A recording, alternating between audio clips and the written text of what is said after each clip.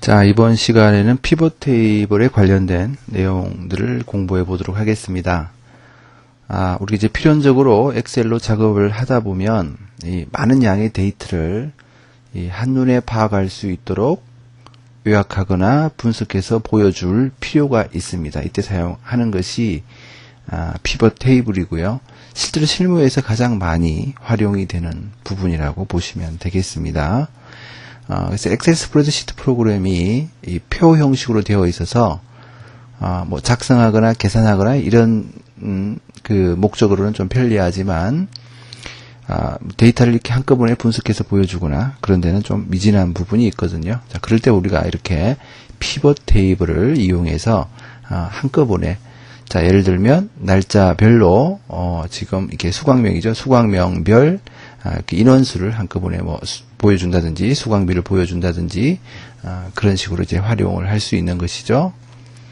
자, 피벗 테이블을 만드는 방법은 굉장히 간단합니다. 일단 아, 피벗 테이블의 원본이 될 데이터 범위 속에 뭐 커서를 두거나 아니면 어, 블록으로 설정하거나 한 다음에 그 삽입 탭에 보면 피벗 테이블이라고 있습니다. 그래서 이 피벗 테이블을 클릭하게 되면 자, 이와 같이 피벗 테이블 필드 목록이라는 부분이 나타나고요. 여기에서 어, 우리가 어, 그이 피벗 테이블 보고서에 어, 그 추가하고 싶은 필드를 끌어다 아, 놓으면 되는 거죠. 그래서 예를 들어서 지금처럼 회원명이라는 필드를 끌어서 보고서 필드 쪽에 가져다 두고 뭐 이런 식으로 이제 가져다 두면 자, 이 형태에 따라서 피벗 테이블이 이와 같이 만들어지게 됩니다. 자, 우선 보고서 필터라는 곳에 가져다 두면 아, 이렇게 상단에 이런 식으로 나타나죠. 얘를 이렇게 클릭해 보면 회원명 모두라는 부분이 되어 있는데요. 자, 회원명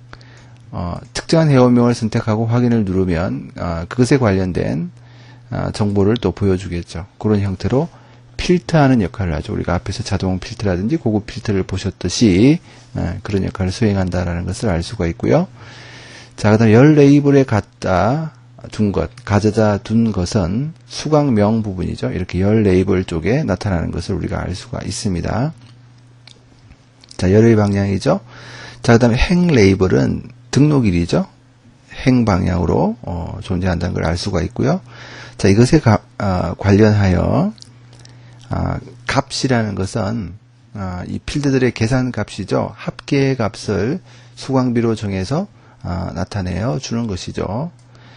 아, 지금 현재는 음, 그 일치하는 날짜가 없, 없습니다만은 일치하는 날짜가 있으면 그 날짜에 해당하는 아, 그 수강명에 해당하는 수강비의 합계를 보여주겠죠. 현재는 이제 아, 일치하는 날짜가 없기 때문에 그냥 개별적으로 이렇게 아, 데이터 값을 뿌려주는 그런 역할을 하고 있습니다. 자, 이렇게 한 다음에 이제 원본의 값이 바뀌게 되면 우리가 업데이트를 할 수 있고요. 그 값에 따라서 업데이트를 할 수 있고 옵션은 나중에 레이아웃 업데이트라는 것도 아, 물론 할 수가 있습니다. 이렇게 해서 아, 그 값을 어, 업데이트를 할 수 있고요.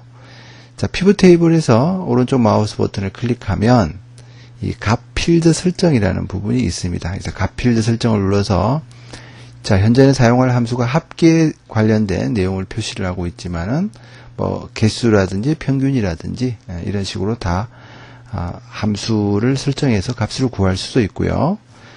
자, 그 다음 값 표시 형식에서 어, 지금 표준이라는 형식으로 되어 있는데 기준 값과의 차이, 비율, 또 비율의 차이, 누계, 열 방향의 비율, 행 방향의 비율, 전체에 대한 비율, 지수 이런 것들도 다 설정을 할 수가 있습니다.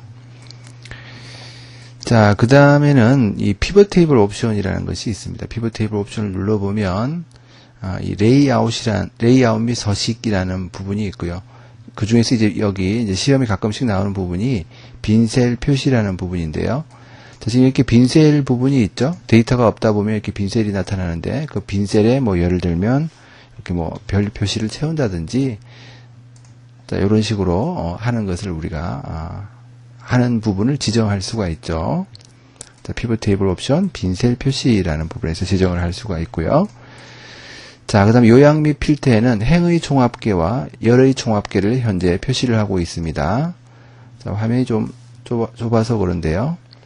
자, 총합계 부분 보이죠? 어, 열의 총합계와 행의 총합계라는 부분이 보입니다. 그래서 우리가 만약에 여기서 어, 열 총합계 표시라는 부분을 제외하게 되면 제외하고 확인을 누르게 되면 어, 열에 관련된 총합계 이 열 방향이죠. 이것의 총합계가 사라지는 것을 볼 수가 있습니다. 자 이렇게 에, 이런 부분들이 있고요. 그다음 표시라는 부분, 확장, 축소, 단축, 표시 에, 그룹화 되었을 때 이제 나타날 부분이라고 보시면 되겠고요.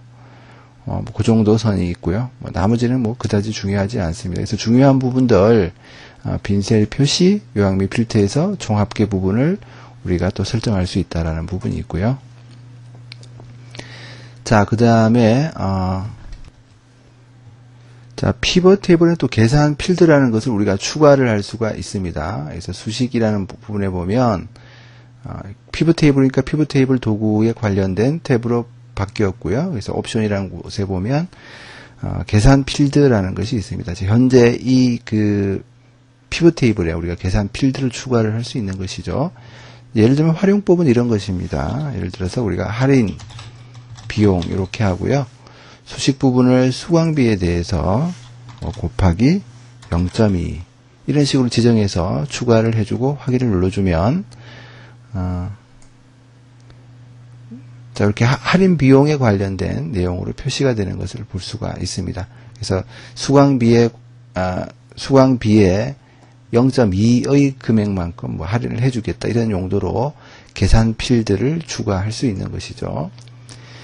자, 그 다음, 음, 또 하나 이제 중요한 것은 이 피벗 테이블에서 그룹화 설정을 할 수가 있습니다. 그것도 이제 그 데이터에 따라서 그룹화 설정이 달라지는데요. 자, 지금은 이 행 레이블에 있는 데이터들이 날짜 필드죠. 날짜 데이터죠. 그래서 숫자나 날짜 필드의 경우에는 이렇게 우리가 그룹이라는 것을 클릭하게 되면 시작과 끝 텍스트에 해당하는 날짜를 아, 지정을 할 수가 있고요. 단위도 지정할 수가 있습니다. 그래서 우리가 연 단위로 어, 지정을 하겠다라고 해서 확인을 누르게 되면 연 단위로 이렇게 그룹화가 됩니다. 아, 물론 이것은 이제 숫자나 날짜 서식, 아, 날짜 서식에 해당하는 음, 날짜 어, 데이터에 해당하는 그런 데이터 값이 입력이 되어 있기 때문에 이렇게 그 날짜별로 그룹화를 할 수 있는 것이고요. 이것이 만약에 아, 그 문자 데이터라면 그냥 자동으로 그룹 1이나 그룹이나 그룹 3 이렇게 묶여서 자동으로 표시가 아, 되는 그런 형태로 이제 되어 있는 것이죠. 자, 그룹은 이제 그룹 해제를 눌러서 바로 그룹 해제를 할 수가 있습니다. 피벗 테이블도 역시 마찬가지입니다. 여러분들이 한번 눌러서 만들어 보면 뭐 대부분의 내용을 다 이해할 수 있습니다.